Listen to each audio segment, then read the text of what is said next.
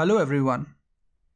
In this video, we will learn to add a column with default values to an existing table in SQL Server. So we've already got table in SQL Server and we want to add a column and we want to specify default values. I've created this table here which is not much. It just contains the employee ID and employee name and I've created two similar tables. So employee one and employee two, and I'll just execute this.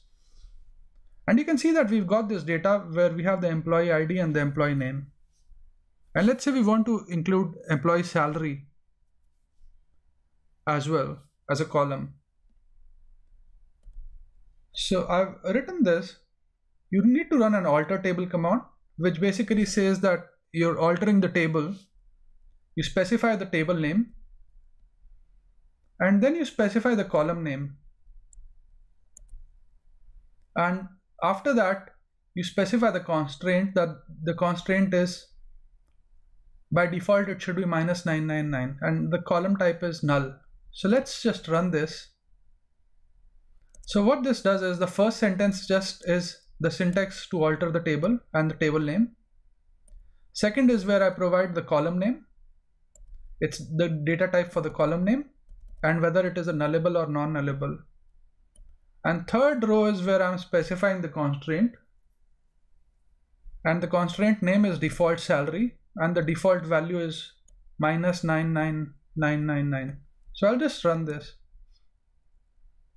And let's just go back here and run this employee one because we or we'll run both the scripts any case and you can see that I've added a new column salary. But so what it does is by default if because it's a nullable column by default it sets the value to null. I'm creating another constraint on table 2 employee 2 and I've, the only difference is that the column is not null and the default constraint is again minus 9999 Now let's run both the values.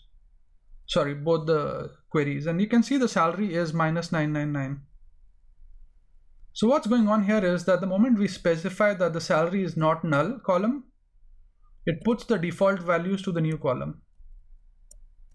And in the first one, we specified that the salary is a nullable column, so it just added null. Now let's just go and uh, add some more data and see what happens.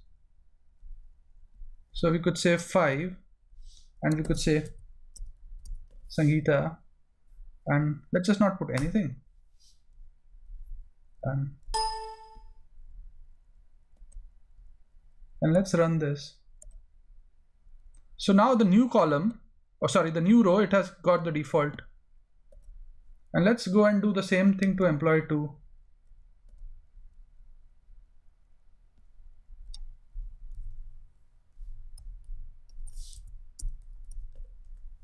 And we'll just leave it as null again. And I'll just save this. So for every new row the default is by minus 999 by default. But for existing rows there's a difference for nullable and not nullable column. For nullable column it lets the default lets the value for existing rows as null. But when the column new column type has been defined as not null.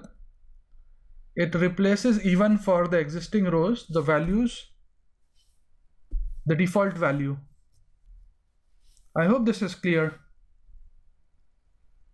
I will put the script for the table and uh, the table data as well as the alter commands in the video notes and you can have a look. I hope you find this video useful and thanks for watching this video. If you like this video, please do uh, subscribe to my channel and it gives me more encouragement to create similar stuff. Thanks again.